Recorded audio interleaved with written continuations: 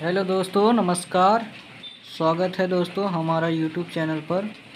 दोस्तों, काफ़ी लोगों का कमेंट आ रहा था कि हमें सरसों में कितनी पानी डालना चाहिए। दोस्तों, आज हम इसी टॉपिक पे बात करेंगे। दोस्तों, आज हम पीली सरसों की पेराई कर रहे हैं, जैसा कि आप देख पा रहे होंगे। दोस्तों, अभी ये धीमी गति से चल रही है। कारण यह है दोस्तों कि हम दोनों चला रहे हैं, चक्की भी और स्पेलर भी। तो इसके कारण हम थोड़ा थोड़ा कम ही गाला दे रहे हैं इसमें। और ये सही से चल रहा है दोस्तों, ऐसा बात नहीं है। थोड़ा थोड़ा कम गला देकर इसको भी हम चला रहे हैं और उसको भी मैनेज कर रहे हैं, ताकि गेहूँ का जो कस्टमर है वो भी ना रुके और इधर सरसों की भी पेराई हो। दोस्तों, मात्र सोलो पैनल से दोनों को ही चला रहे हैं।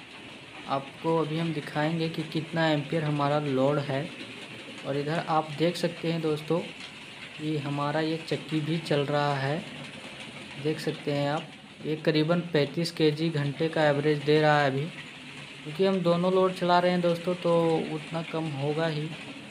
और आप लोगों को बता दूँ दोस्तों कि आप जब सरसों की पेराई करते हो तो पानी आप ज़रूर डालें दोस्तों, ताकि आपका ऑयल जो है, वो सही से निकल पाए।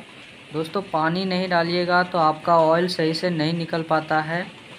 अगर यदि आपके पास 10 केजी सूखा हुआ सरसों आता है तो उस पर आपको कम से कम आधा लीटर पानी ज़रूर डालें।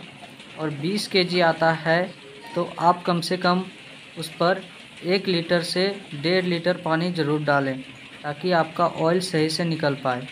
दोस्तों, अभी हमारा डबल लोड चल रहा है अड़तालीस उनचास फ्रिक्वेंसी पे, और एम्पियर हमारा नौ एम्पियर ले रहा है दोस्तों।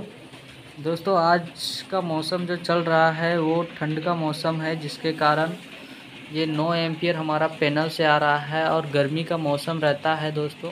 तो ग्यारह एम्पियर फुल आता है। तो हमें नौ एम्पियर में ही मैनेज करके दोनों को चला रहे हैं। जैसा कि आप देख पा रहे होंगे दोस्तों, हमारा दोनों चल रहा है मोटर से। दोस्तों, ये हमारा पीली सरसों की पिराई चल रही है। दोस्तों, आप लोगों को बता दूँ ये थी आप लोग की जानकारी कि हमें पानी कितना डालना चाहिए।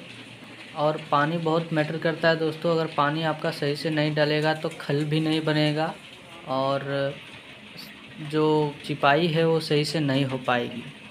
इसलिए पानी आप ज़रूर डालें और अपने अनुभव लगा सकते हो आप कि हम जिस तरह से बता दिए, उस अनुभव से आप ज़्यादा ज़्यादा अगर आपके पास सरसों आती है तो आप उसके अनुभव से आप पानी डाल सकते हो।